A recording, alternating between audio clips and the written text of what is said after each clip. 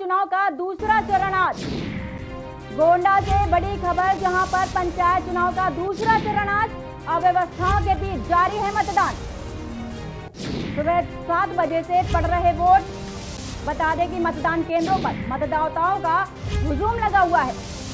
Covid guidelines की धज्जियाँ उड़ाई जा रही हैं। एक मतदान केंद्र पर आठ बूथों के मतदाता नज़र आ रहे हैं। छब्बीस लाख से ज़्यादा मतदान मतदाता मतदान करेंगे। वोटिंग 4,428 मतदान केंद्रों पर पड़ने हैं। तो ऐसे में इस तरह की तस्वीरें आना बेहद डरावनी है।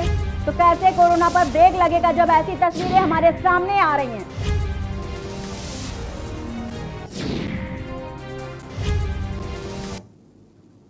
अमरोहा से बड़ी खबर आ रही है जहाँ